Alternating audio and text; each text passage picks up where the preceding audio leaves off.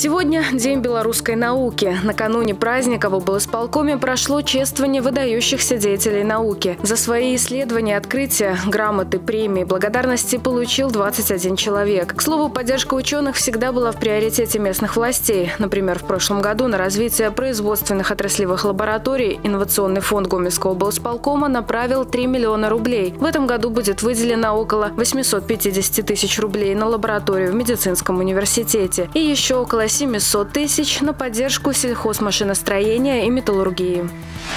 Первый этап вакцинации против коронавируса в Гомельской области на этой неделе подошел к завершению. В соответствии с распоряжением Министерства здравоохранения первую партию вакцины распределили между медицинскими работниками всех уровней. Привито 4365 человек в Мозырском, Ветковском, Калинковичском и Чечерском районах, а также в Гомеле. Использовалась комбинированная векторная вакцина производства Российской Федерации. Важно отметить, что препарат состоит из двух компонентов, и вторую его часть медработникам будут вводить через через 21 день. Массовую вакцинацию населения планируется начать в апреле.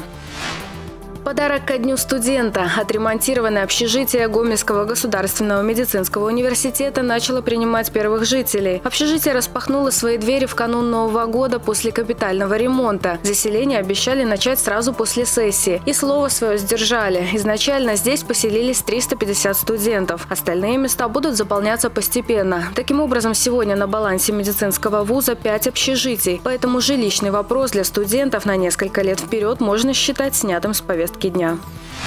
На этой неделе исполнилось 100 лет со дня рождения народного писателя Беларуси и нашего земляка Ивана Шамякина. За 60 лет его творческого пути вышли в свет 130 книг писателя общим тиражом свыше 25 миллионов экземпляров. Среди них романы «Крыницы», «Сердце на долоне», «Снежные зимы», «Возьму твой боль» и «Пентология. Тревожное счастье», посвященная тяготам войны. Умер Иван Петрович Шамякин в 2004 году. В память о нем его родной деревне Корма Добружского района установлен бюст писателя а его имя присвоено Мозырскому педагогическому университету. В честь классика белорусской литературы Союз писателей провел конкурс «Семья. Основа счастья и любви». На него было представлено более 130 эссе зарисовок практически из всех регионов Беларуси. Особенно активными были жители Гомельщины.